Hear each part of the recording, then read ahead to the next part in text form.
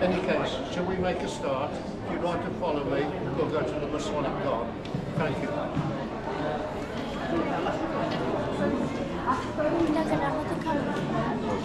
Well, just do a couple of seconds every now and again.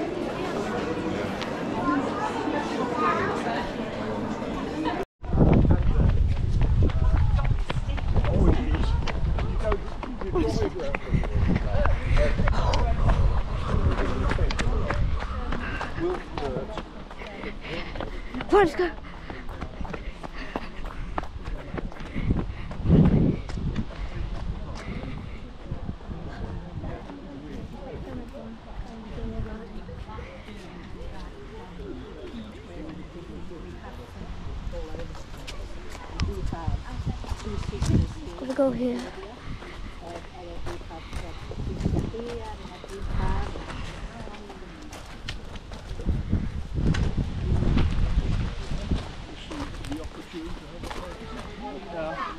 Phil, Richard now. He's talking. He's done the talk. Get right in.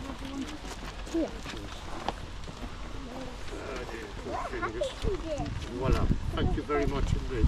Anybody else? You reminded me, it, it, it won't hurt actually. Um, th- this little whistle, a bosun's call, and um, it's just to bring you to attention because can you all hear me? That, that's the most important thing. Because I'm not going to be able to um, um, deviate from what I'm saying and um, if I can just draw attention from every place we're going to visit uh, with the bosun's call. So, thank you. And that's just to draw your attention. Um, can you all hear me? That's another thing. Yes. It- It's very important that you do. Well, today we have some little people that have visited, and it's lovely to see a family. And um, I, I love children, a- a- as you probably can guess. They're, they're very meaningful. Mm. Couldn't eat a whole one though. And uh, in my bag, That kind of soup. we have Froggy the Frog. and um, he's been with me for a good few years and um, goes all over the place, you know, just tucks in quite nicely. My name is Froggy the Frog, purely because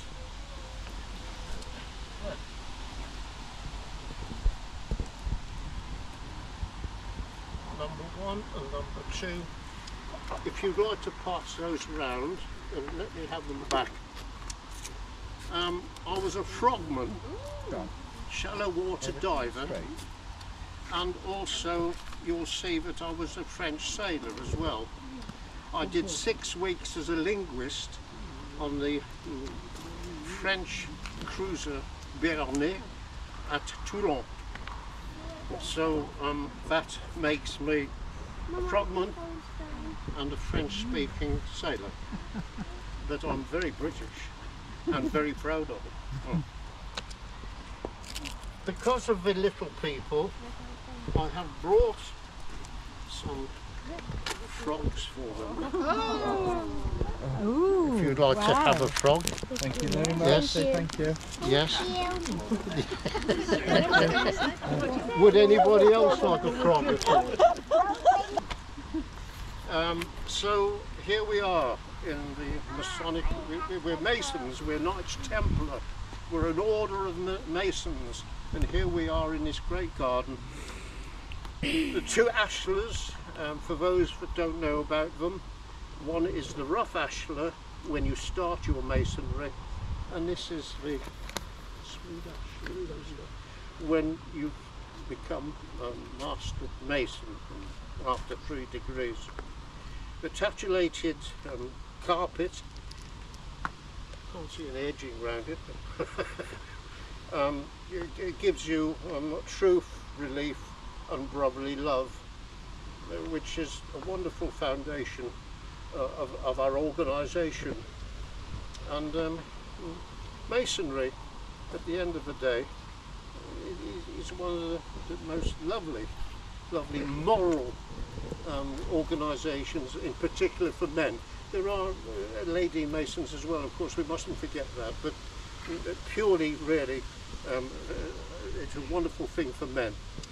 Um, to me, um, I, I, I love my masonry. It, it, it gives me that platform to work from. Um, I'm not going to take too much about masonry because that would be unfair. What I would like to say is that there's a lot of people that were masons that lost their lives in two world wars and beyond, of course. And that's what this garden is all about, really, is a point of remembrance to remember all those uh, that have given their lives to, to our country.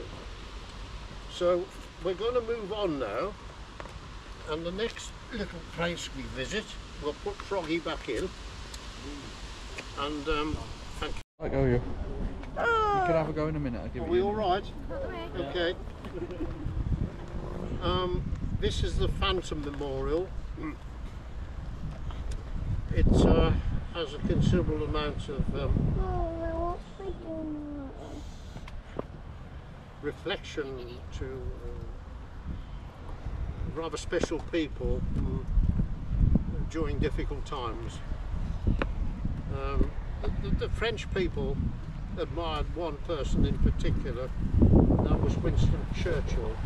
Um, I, I don't fully know um, how they found the courage um, in their resistance without this guy. Uh, the news from London uh, was always uh, transformed. If you had a radio and you could pick it up, it was good news. Um, you weren't allowed to, to listen to, to, to these programs. I, in an occupied country, it was forbidden, of course. Um, so you can well imagine how this man um, really gave everybody that little bit of a chance. Um, the chappie that uh, brought this stone all the way from Alsace, it's a pink granite and um, lads from the SAS put it in the back of the Land Rover and brought it here for him, which was fantastic really. That's uh, Len Owens, I'll pass it um, is in combined operations on a similar basis that I was, but much later of course. Um, he uh, was dropped by parachute in 1943 um, in the Vosges and um, it was an SAS operation where they would be able to consolidate uh, a, a, a, piece of uh, area because the American Sixth Army was coming up at such a rate but got caught at Bastogne, if you remember the, the bad winter and the whole thing that went terribly wrong at Bastogne. But Patton would not cross the Meurthe River and the Moselle into that part of Alsace where these boys were. And uh, the little village of Moussey, um, the lads were up in the forest and it was wet and cold, you know. So you can imagine it's not easy going. And they would come into the village for substance, you know, a little bit of comfort if they could find some. And there was a Madame La Reine, the Queen, and she had this big house. And the German soldiers, the good boys they were, downstairs drinking the wine and, and having a whoopee time and the SAS boys were upstairs getting warm, uh, uh, drying their clothes and having a whoopee upstairs. And this, this shows the stupidity of war, isn't it?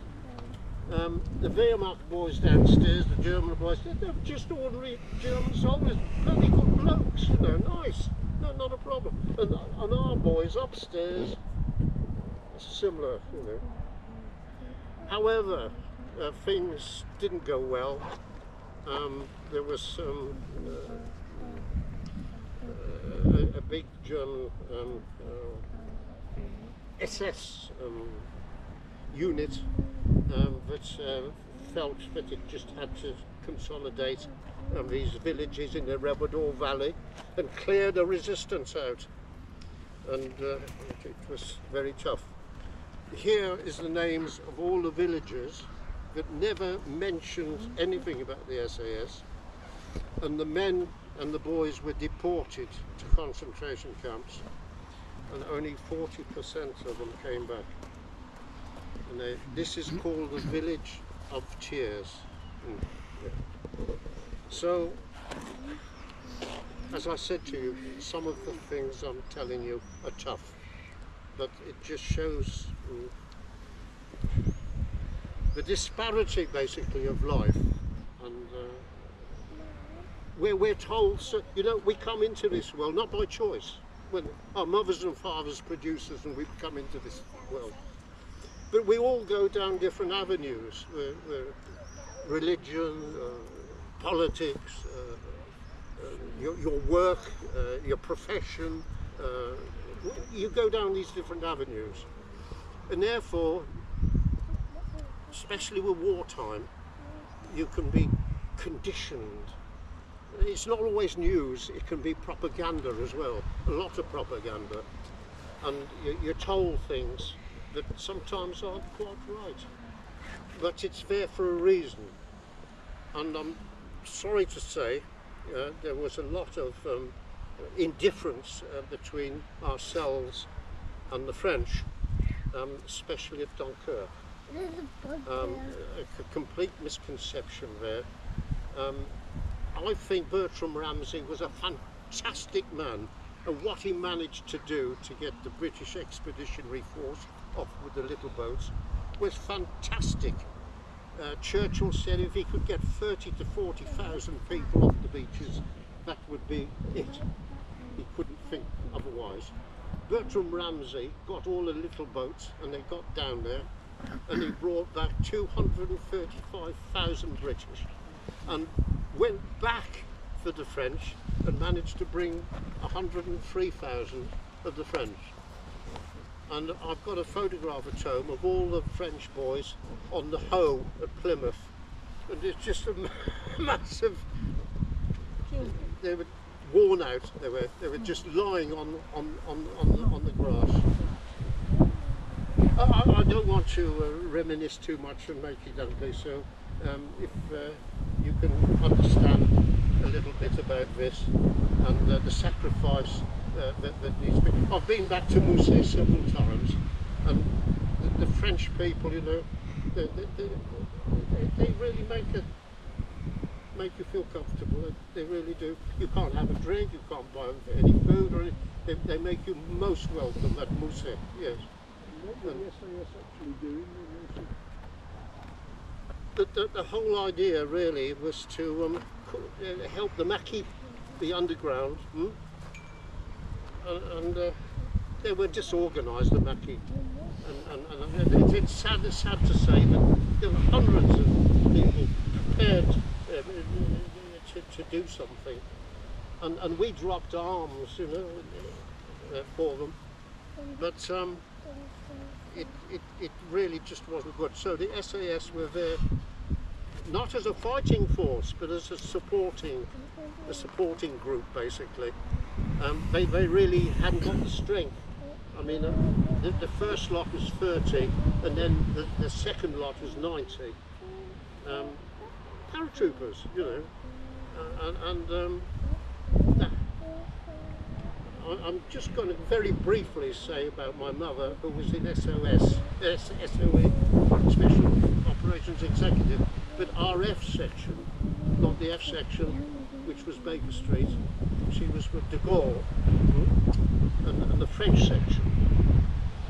And uh, I thought she was, because I spoke to Len, uh, Sergeant Len Owens, this is his uh, repertoire here, and he, he spent £16,000 of his pension to put this memorial together. That's how he felt and, and, and, and his, his feeling about the people of the, of, of, of, of and, and, and the villages. He, he was a dear man, and I, I've shown you a photograph of, of him, at the top, Yes, yes, a, a, a dear boy. Uh, and um, I, I made friends with him for quite some time. He felt that he'd met Mother, but I'll tell you about it later on because it did not happen here. Mother was further on down in the Jura, um, uh, not in the Vosges. So let, let us just move on a little bit further if we can. Yeah? Are you happy with um, Our next memorial is the Battle of the River Plate. This was one of the, in fact, the very first naval engagement uh, of any substance. Um, the winter of 39. Um, the Germans had got one or two pocket battleships and um, the Graf Spee um, was uh, as, as you can see her weaponry um, 15 inch um, would cause a considerable amount of damage. Um, Exeter which was an old um, cruiser came up with the Anzacs the um, Australian New Zealand boys uh, to help Ajax and Achilles which were light light cruisers. And this is a six inch um, projectile. Um, this uh, uh, very large piece will have two bags of cordite which is silk. Um, so it just us up immediately um, with the contents of cordite inside the, the trajectory once it's fired would probably reach about 15 to 20 miles. So if you think in terms of here, the other side of Burton on Trent, um, somebody having breakfast, one of those dropping on you, it wouldn't be very pleasant. Um, at the engagement, um, before they got into the River Plate, Exeter took the brunt of the uh, of, of, of the problems of the Graf Spee and, and, and she was really disabled virtually. I think it was only the forward turret that was uh, um, uh, able to do anything. So it left Ajax and Achilles to keep on going round like a couple of wasps, putting in uh, the six inch shells. Now, you'll notice that I was a naval gunner, so I was an able seaman, a gunner. And I went to a, a gunnery school of HMS Cambridge uh, near Plymouth um, to um, learn something about gunnery. And um, it is fascinating um, to think that uh, only once did I ever go into a gun turret where there was an 18 inch, that's 15 inch, so that's an 18 inch projectile, like a dustbin. Um, but we only fired two bags of cordite. And the noise and the pressure inside there, under your arms, in between your legs, your ears, you I, I, I can't explain um, ju- just how terrible that is. And if you think in terms of the Ramillies and the Warspite on D-Day, putting those projectiles every four to five minutes, well, those men, you- you'd be like a jerry, wouldn't you? But there were 24 in a housing with four guns, these projectiles were going out on D-Day. Unbelievable. Remarkable people. A job to be done, of course, gunnery. Any case, um, Admiral Graf Spee decides to go up into Montevideo and dock and get the crew off. The- The skipper was a real good man. He really was a kind man. And he, he didn't want to lose his boys. So he dropped them off and they were interned in, uh, in Nicaragua or Guatemala, I can't remember now, um, for the duration of the war. And he came back with a volunteer crew down the river and he scuttled her. He scuttled the Graf Spee. And he took his own life as well. Hitler was furious. he said that they should have taken the whole lot out and uh, furious. but uh, there is humanity, isn't it, for his boys. And uh, hmm. any case, uh, the six-inch shell is QF, quick firing. So it has a brass shell casing. And I was on Vickers four inch, that's a little bit smaller. And you used to, they're heavy, you put them on your arm and you punch them into the breech. Because if you put your fingers in, the breech comes off and you lose all your fingers. Oh dear, oh dear. So you have to punch them. And when they come out, they're red hot. You're gonna catch them. You, you, you, they come out onto the floor and, and you push them into the netting. And if you lose them, if they go into the sea, you know, oh my word, they're 500 pounds each. and that was 65 years ago. Brass, you know. But the noise, as I say, it's absolutely incredible, incredible. I served on a submarine, I'll tell you about those a little bit later on, but that was the last gun on a submarine. I served on Tudor and Tally Ho. Tally Ho had got a lot of Brummies, that was a Midland boat. But, but, but the Tudor, the Tudor, that was the last four inch pop gun. And many years later, I, I met the chap here and he said, uh, you on the Tudor? I said, yeah, only a short time. I said, "Uh, gunnery racing. I God, he said, do you know where that gun is? I said, no, it's Arlington Cemetery in America. It's on top of somebody's box.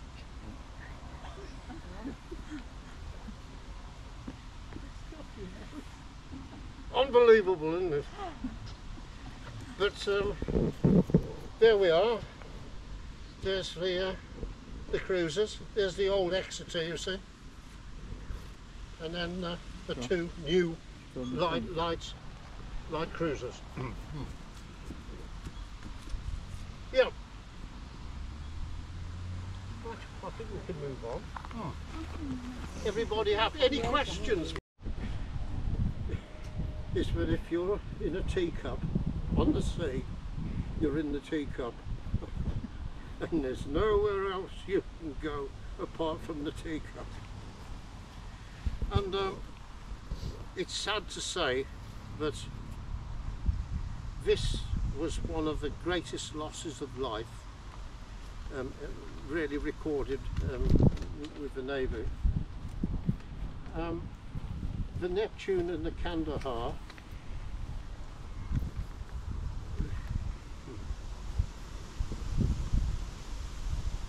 Germans had moved into North Africa, the Africa Corps, and the Italians were there en bloc. So Libya and going into Egypt was a difficult area to be in, Tobruk and so on. There was a very big um, merchant um, delivery of arms um, from Italy into Libya, and um, it was uh, Flotilla K. And uh, we sent um, one or two ships to intervene. And unfortunately, we didn't intervene. We got into a minefield off the coast of Libya. And uh, Neptune proceeded at such a speed but she hit two or three mines, and she went down very quickly. And you can see there the amount of people that lost their lives. Lost their lives. The Kandahar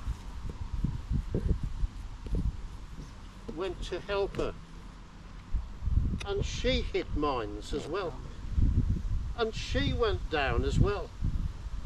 But only half the crew disappeared.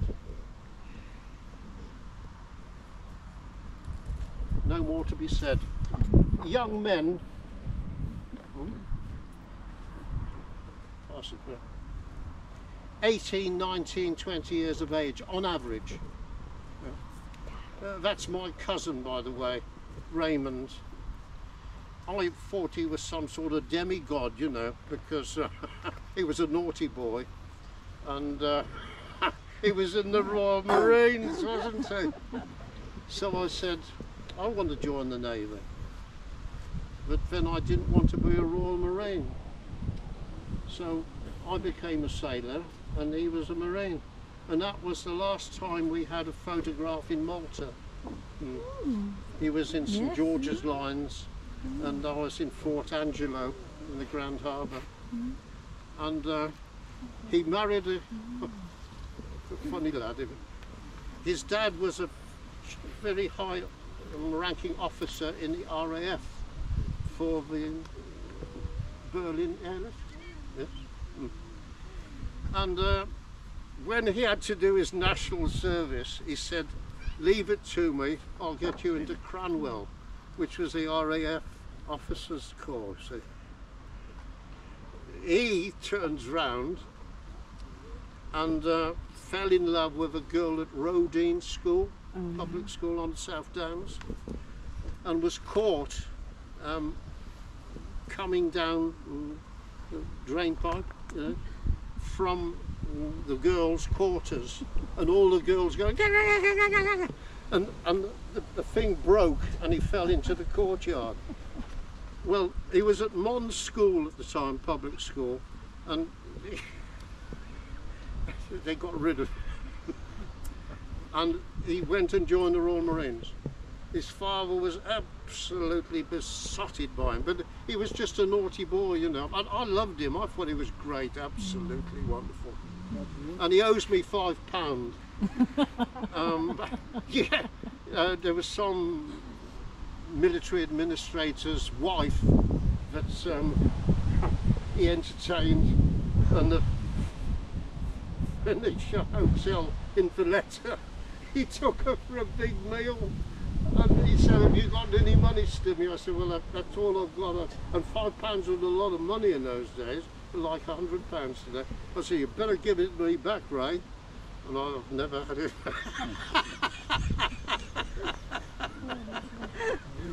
Uh, uh, thank you. so you see, there's a sad side to it, and there's also the funny side to it. isn't there? that's a nice memory, Yes. isn't it? Yes. Re- Refugees, of course. Um, we had to clear out our cities because of bombing, and um, the children were sent all over the country. And um, they, were, they were there during the duration of the war. And, pe- people on farms and, and, and, and all sorts of places. Uh, sort of, uh, wonderful, wonderful. Yes, yes.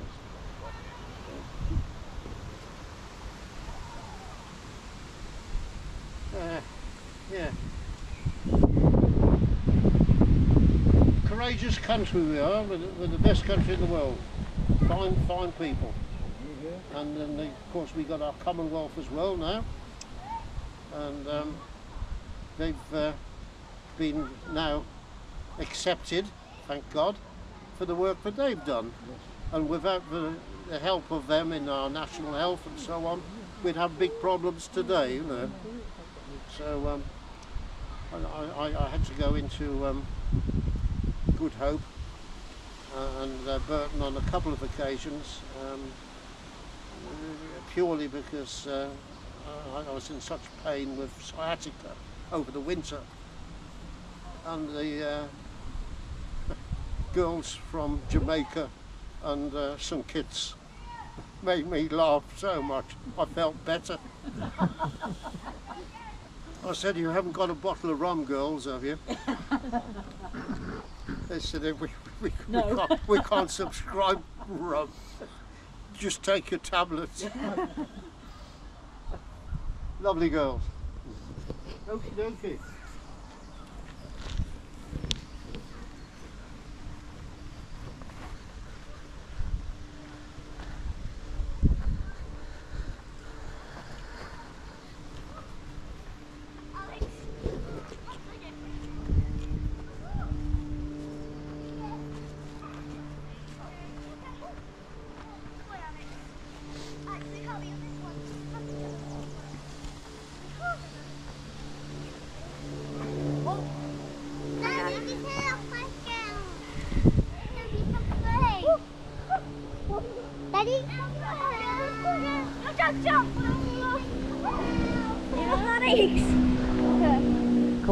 Yourselves round.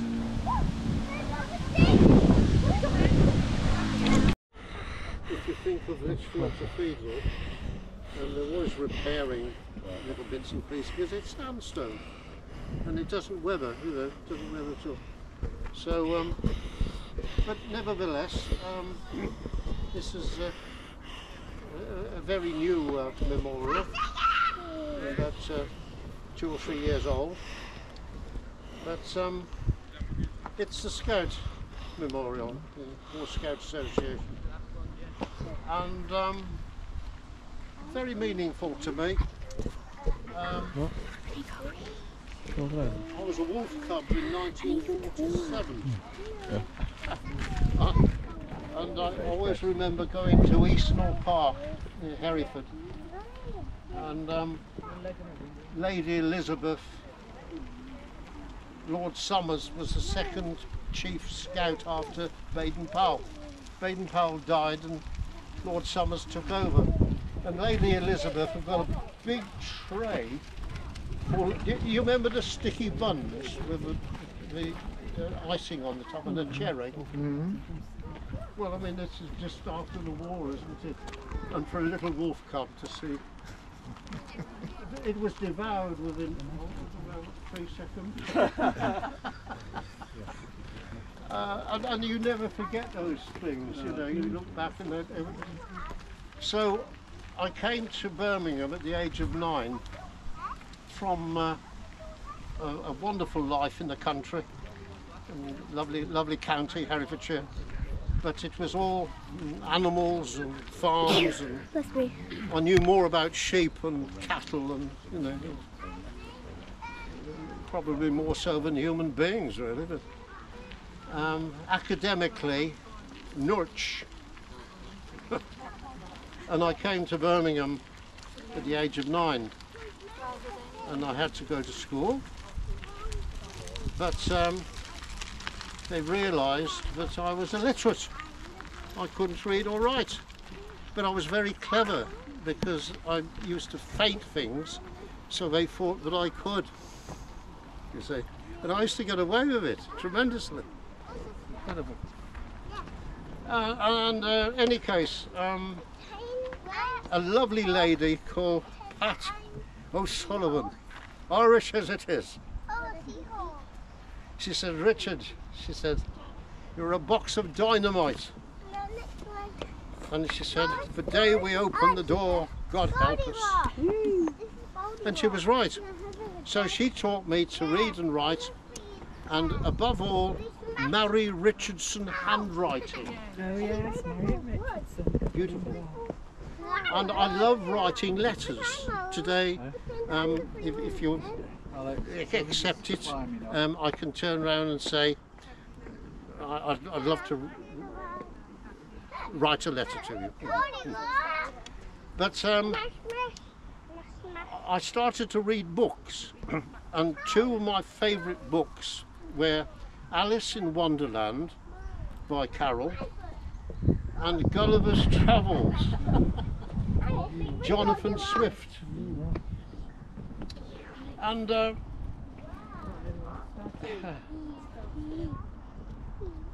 okay, I'm deviating a bit, so we'll we'll come back to Jonathan Swift in a little bit later on, right? Um, but, but my scouting um, started at Quinton, West Birmingham, um, with the first Quinton Scouts, 169th Birmingham, and it was my life. I, uh, we had a trek cart. I'd go over the uh, the, Walton and Clent Hills. I, I was away at the weekend, and I, I, I, loved it.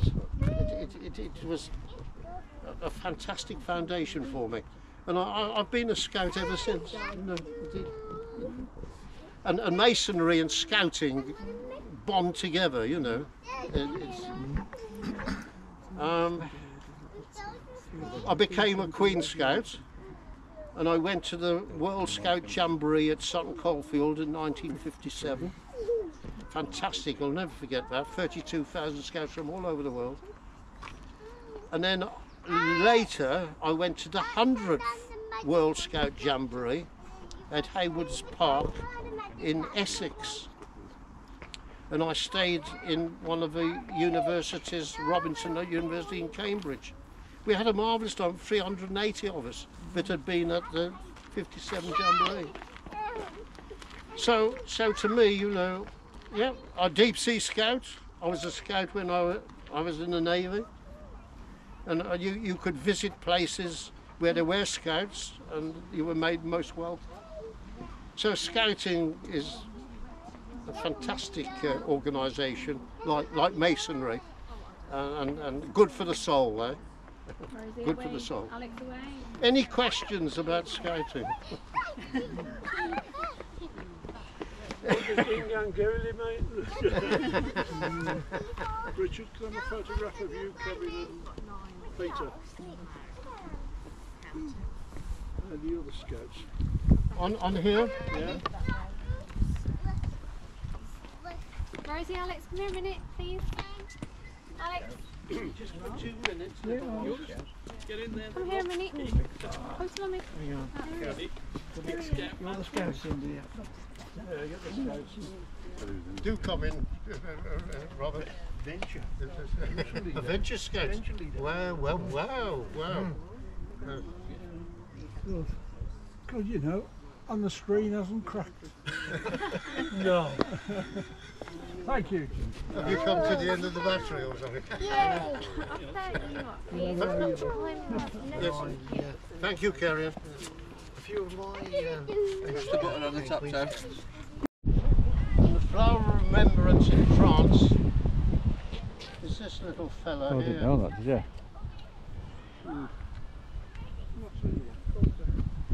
Corn, yes, cornflower. Yes. Thank you. Thank you. Thank you, man. The brain plays me up sometimes.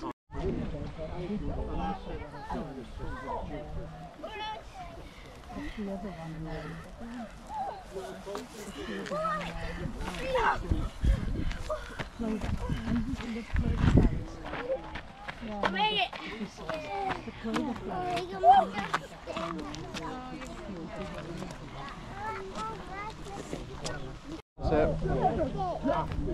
uh, hold it still.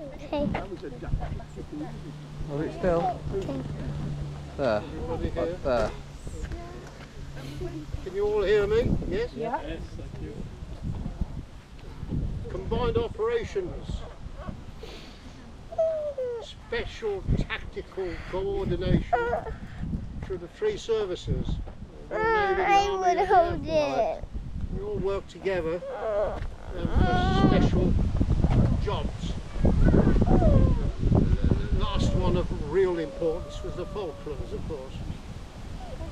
But, um, I was out in Eden, uh, out in Aden, Aden, and the Persian Gulf, and the policy was called East of Suez, and we all worked together um, to uh, formulate a uh, strong point at the bottom of the Red Sea. Across the water were the French, and um, just I think they've got some military presence there. But the only people that I did get to know were the French Foreign Legion, Légion étrangère. And I, I was a linguist, you see. So I had to take this young subaltern, who got a plum in his mouth, he came from Harrow, had been to Eton. Lovely man. And he got an attache case and everything. And got over to Djibouti. And he said, uh, well, I can't see anybody. I said, well, you've got to be patient. I said, you know, we're in the middle of the desert. I said, somebody will turn up. And an Alouette helicopter came along. And on the, underneath was a little Dyane motor car. Little, little, little you know, no windows, no doors. And it was dropped into the sand. It on. Two legionnaires come along over the hill. English? I said, oh, je, je parle français. Oh, no, I'm, I'm grand baiser, you know, and uh, elegant. Uh, bottle of Algerian wine, litre, litre, uh, a baguette and a big sausage. He turns around and says, oh, I can't eat that. I said, well, I'll have it then. we, we sat in this thing, my knees to my in the back of this little Dyane. You know these French, uh, they're funny people, but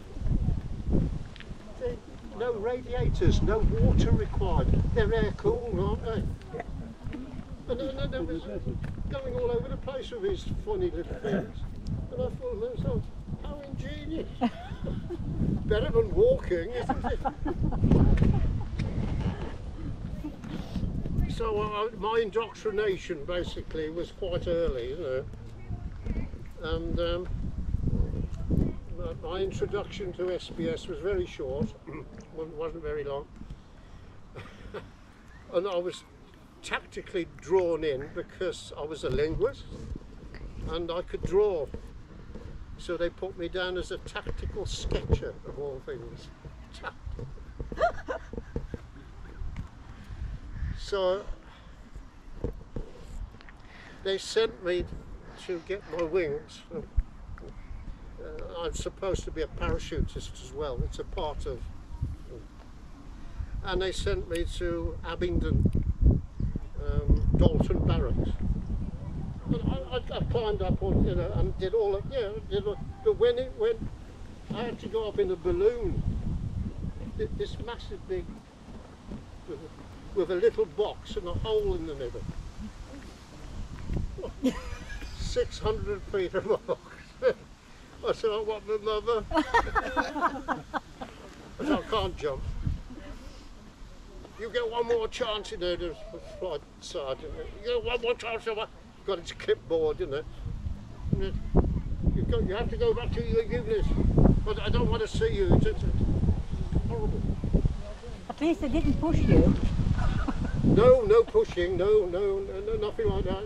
If you if you couldn't do it, you couldn't do that it. Was it. it. So I went back, and they, they didn't, they didn't show any mercy whatsoever. They- This major of Marines stood up and he says, "You're an absolute disgrace."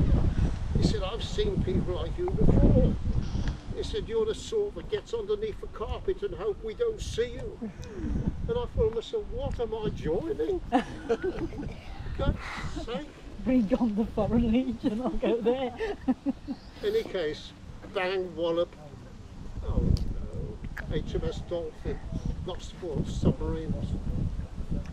So I ended up as a canoeist, yes, swimmer.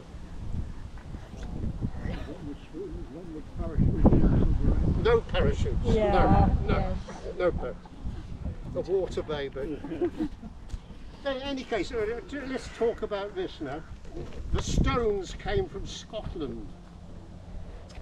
And um, the one at the back is six ton in weight.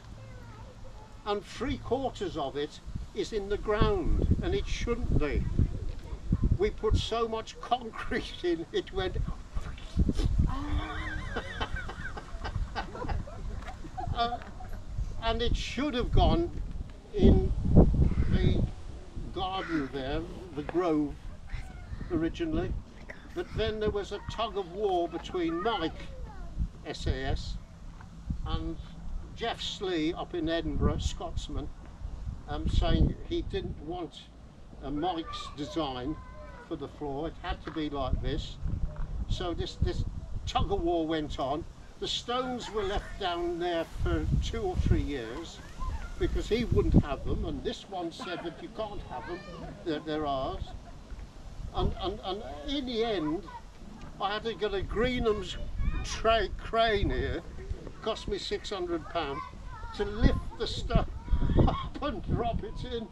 But the people who dug the hole and put the concrete in dug it too deep. So half the stone's gone in into the ground. But i- i- this is our, our memorial. And I, I've built this just for the fun of it. Yeah. And it gives you some insight basically of the greatest armada that human beings have ever been able to produce. And when you think some 200 uh, capital ships, I think there were 2,300 vessels of various types, um, but um, a complete armada um, for D-Day, the 6th of June. Um, I had a friend who was a butcher at Burntwood, a chap named Ray Robinson, and he was on a gooseberry ship. And the gooseberry ships were merchant ships and old naval ships that were going to be blown the bottoms out and they make a breakwater for the Mulberry Harbour. He said to me, he said things were flying about a little bit because they were getting a bit close and they were after, they were in line after the old French battleship Courbet. She was to be blown up and sunk. And he was having a cigarette at the back of the funnel with one or two of his mates, you know, just sort of taking it easy. And a petty officer turned round and said, What are you doing? He said, Well, we're just having a break. A break? He said, Get some bluebell and start doing all the all the bright work and, and let's clean all this up. We don't want the Germans to think that we're slack. Only got to blow the blooming thing up. I, I, I creased myself, I don't Yeah. Right, let, let's walk over to the other side there and then um, we're, we're into the garden. And I'm going to lead, lead you through this garden um, because this is sacrosanct. This is rather special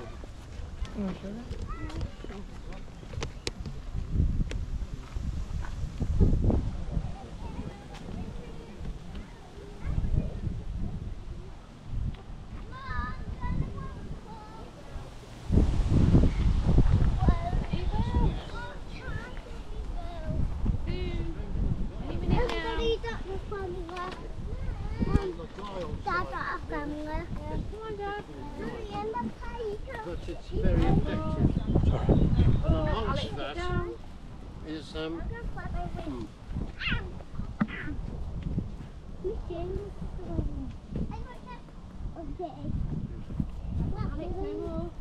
One more. One more. sorry, the brain's just gone dead for a few seconds. Um, just, just uh, you, you, well, well, we'll get there in a minute. Imagination. Uh, I had a friend uh, working for me, uh, a lad from Jamaica. And this was in Wednesbury when I worked for Walsgraves in the timber trade. And I said to him, I said, Austin, I said, what are the greatest things you've done in this country? He said, education and imagination. I said, well, that's wonderful, that's. And here's a man, imagination, um, Airey Neave. Um, the IRA decided to blow him up outside Westminster in the latter part of his life. Uh, but um, he was a prisoner of war on two or three occasions and they sent him to various stalags and uh, prisoner of war camps and he escaped. So um, in the end they said, we've had enough of your behaviour, um, we're sending you to Colditz Castle and you will not escape. You will not escape. He made friends with a Polish officer, Polska, and they learnt German together. The, the, the Polish officer could speak extremely good German, and he taught his lordship uh, how to have conversation German. In the meantime, they were making German uniforms, officer uniforms, a colonel and a major, and they were immaculate. Couldn't tell the difference between a real one and a different. And these two walking down to the gates, slapping their, um, you know, um, gloves, gloves, yeah, jawohl. And uh, open the gate, out they went. And the next thing they got was a card from Gibraltar. They made a home run. Wonderful. Wow. But can you see what I mean? The imagination. Yes. You'll never get out. You, you don't speak to these guys Yes, and say way, you're not going to do it. They'll prove that they will do it. And how wonderful, Mm. how, how clever, how ingenious to walk out as a German Mm. Yeah. and be saluted as well. You don't get better than that, does it? if you're going to escape. Um, this uh, beer is the Star of David. There's a Jewish emblem, of course. And uh, we're now with SOE, Special Operations Executive. That plaque there is in Bedfordshire. Hmm? And it's a Special Operations Air Unit and uh, my mother uh, used to get lifted up from there and dropped into occupied France. Mm. These girls were under the British um, SOE and they didn't make it unfortunately, there's 15 of them there. And this lady here, Vera Atkins, was in charge of uh, Baker Street SOE. Uh, tough time. Um, the Star of David was, but she was a Romanian Jewess. And she married uh, English officer Atkins. So she became Vera Atkins.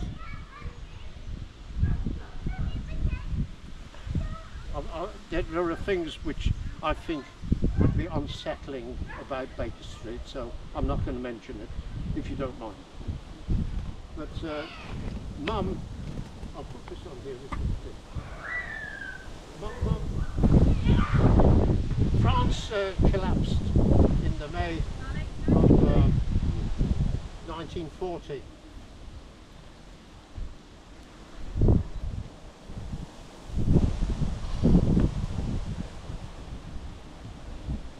Bear with me, will you please?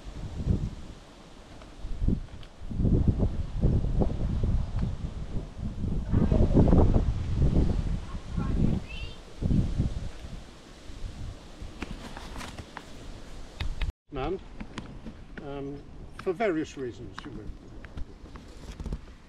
will. Um, you had a choice with France. Um, 1940, May, it collapsed. The Germans had got through at Sedan.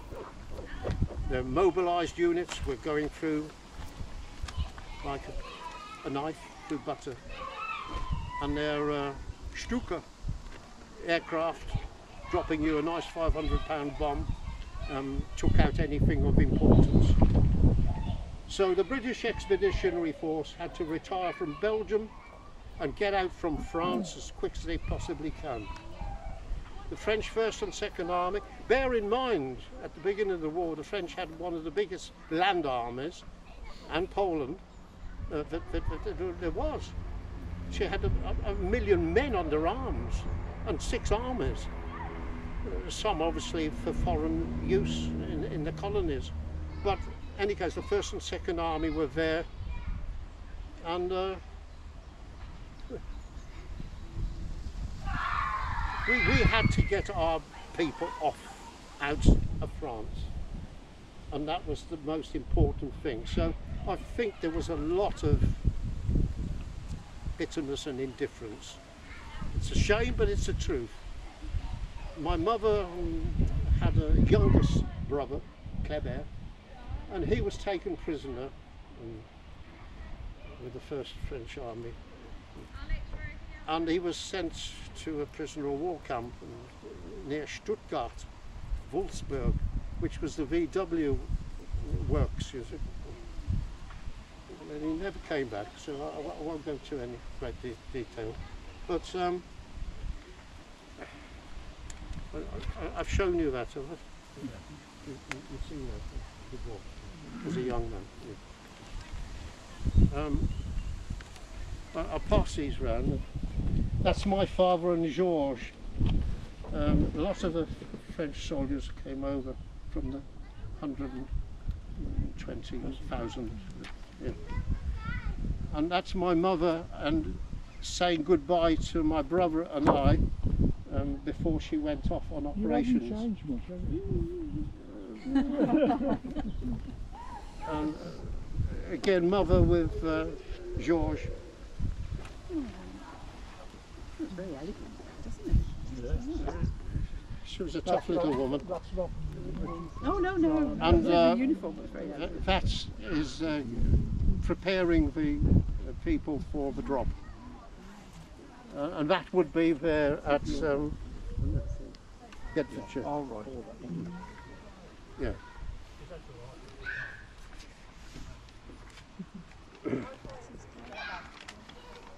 now, this is interesting. You've all seen that before, haven't you? It's Masonic as well, isn't it? Very Masonic. Croix Rouge. it's a side order as well, isn't it? Yes, yes. It's the Croix of Lorraine. The Habsburgs, part of the Holy Roman Empire. What on earth has it got to do with scouting? What has it got to do with masonry? What has it got to do with Charles de Gaulle? I question. We know that Churchill was a Mason. We know that Roosevelt was a Mason. I still don't know whether Charles de Gaulle was a Mason. But if he was, he certainly got the right emblem for Free French, didn't he? Question mark. Yeah, very interesting. I've yet to find out.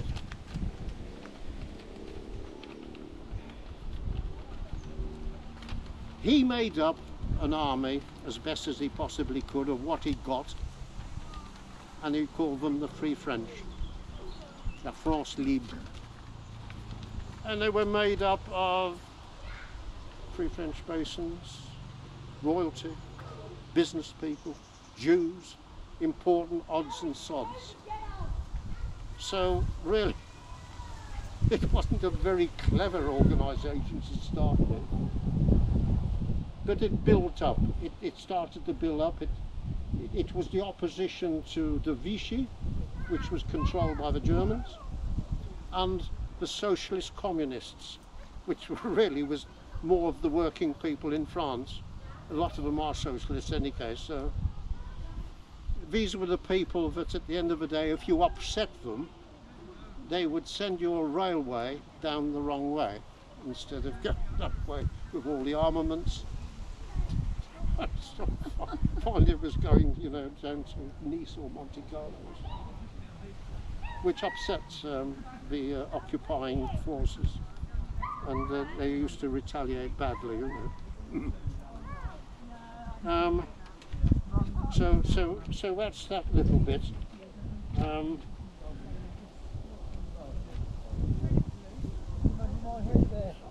everybody happy with that? Any questions at all? Lovely.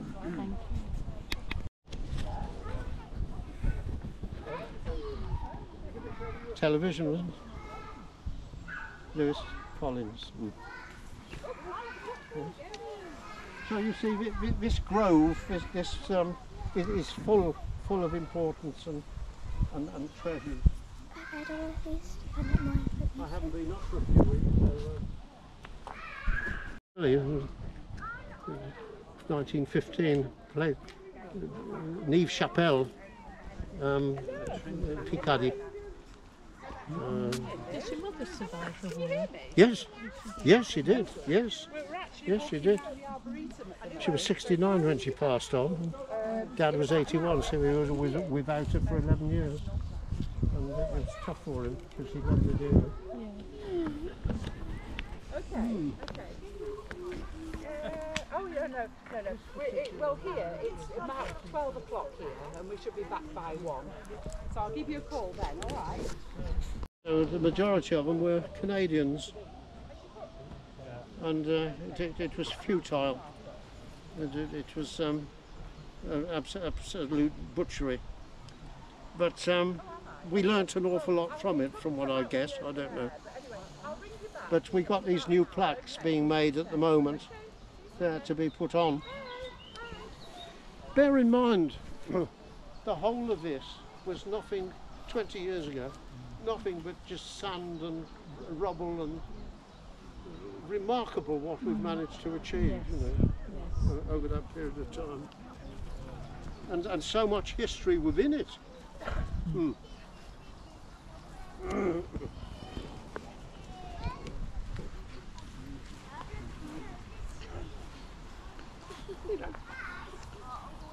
Don't you remember where them stones came from?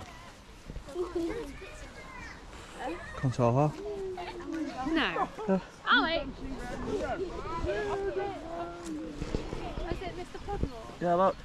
Um, I, I want. I want to hold it.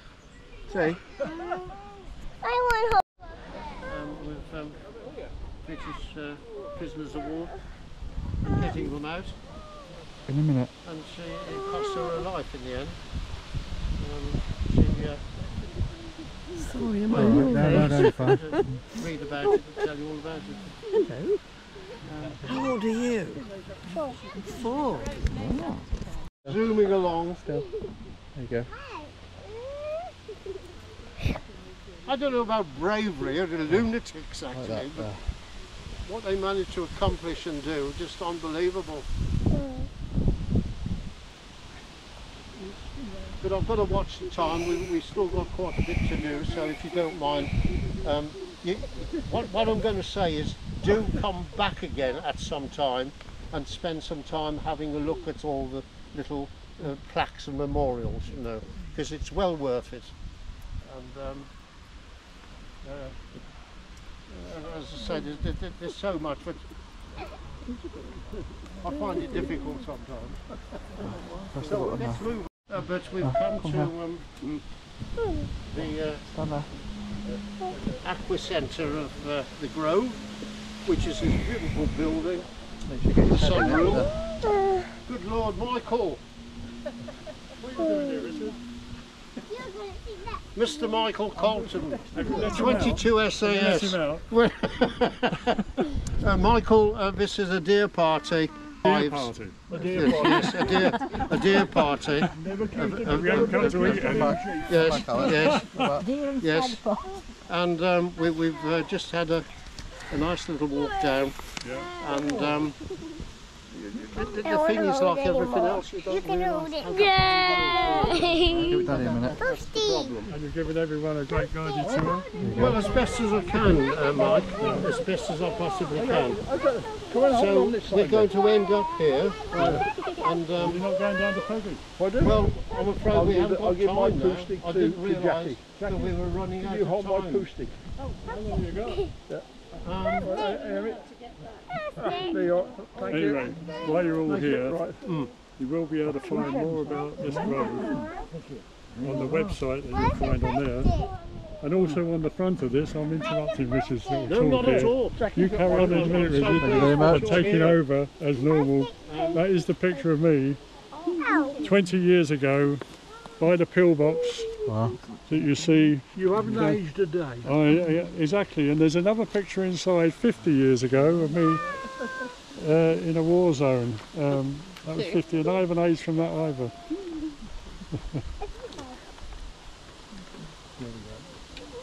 That's lovely. That's lovely. Over. Um, just Oh over to you, Richard. Yes, th- th- thank you, Mike. Um, um, You have something to say, Richard. Come on. It'll be the first time if he hasn't. um, without Mr. Mike Colton here, we wouldn't have a grove. Um, I, I, I can't thank him enough for everything that he does. Um, he works here every morning of the week um, from nine, half nine No. un- until lunchtime. No, six o'clock. Why do you have a Oh, it's, it's down to six o'clock now, is it? Oh, well, there we go. That I didn't know. No, but, but, but what, what a wonderful garden that he's created for us. Dad, And um, Dad, we're, we're, we're so very fortunate. Dad, Um, Dad. So I, I'm just trying to find the, the, the last um, couple of shots. I swinged it on you. You do were swinging on me. You were, weren't you? Like a monkey. You want to do it together? Check down there. Yes. Okay, ready? yes, My friend is Ready? digging out. We've got two minutes to come and look at yes, My goodness. Come and see how the is dug out. yes. It's a tourist attraction down there. Dad. It's only just that way, if you've got time. Thanks very much. I'm, I'm very old, you know. Thanks, thanks very much. Lovely. I'm not old. I like you. So, um, Why did you bring your hat? Pardon? Why did you bring your Um, hat? Why did I bring your hat? Look, we'll so I haven't got finish any off hair on the top. If you'd like to move through. Daddy, take your hat off. Oh, kicks my head, Bob.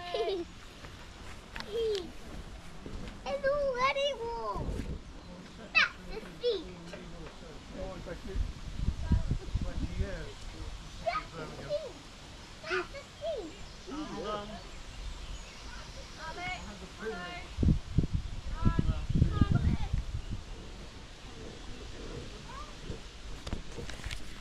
Captain Bill Jewell of the Seraph. And that was the Seraph that dropped the body off at Huelva in Operation Mincemeat. You, you may have seen the film or. mm. And uh, Bill was a, a lovely man. And I did a sketch of the Seraph and I presented it to him on that, that particular evening. Talking about claustrophobia or close workings with a small submarine, have a look at that.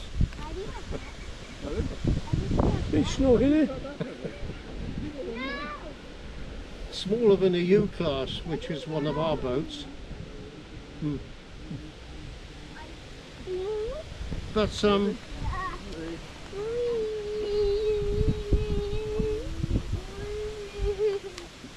this um, particular canoe here, um,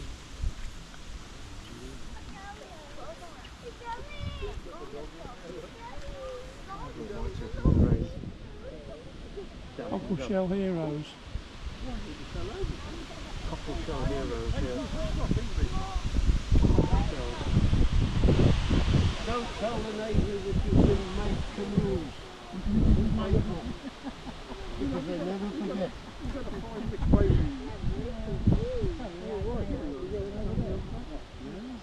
They never forget.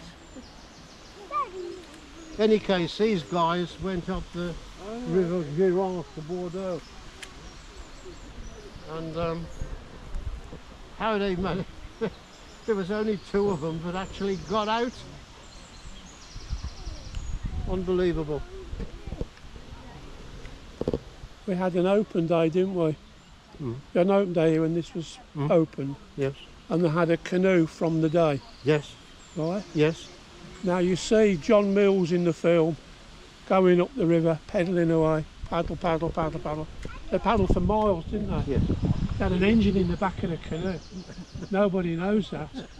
It sat there, and I've still got a picture of it Oh, with no. an engine in the back. But Peter, Peter, that was a different canoe. Now for a it different wasn't, operation. can't Yeah, yeah, yeah. No, that was Uncle Archie. That was, and, and, and these were specially made for the operation attack against the Japanese um, up rivers and, and so on. Uh, but uh, these, these tall boats, um, in Mark four or five, and uh, with the capacity of youth. Growth. So, hmm. I, I, as I say, I'm sorry that we're running out of time, and um, I wish I could uh, spend a little bit more time with you and showing you a little bit more, because there is quite a lot more to this. But if you do have a chance to come back here sometime, come and have a bit of lunch here and, and spend day. Well worth it, and there's so much more to see. And, um, and, and you've only got to read the facts really. Uh, they, they will uh, describe and tell you most things. So, don't pick the flowers. No, you can't pick the blooming flowers. So, thank you. Wow! I said thank you. You did say thank you. That was well done. They're absolutely beautiful. I said I'm fly. I'm fly like a bird. I better go back and see. I'm in. Get down, see my Jackie now. yeah, I better go. Otherwise she gets lonely.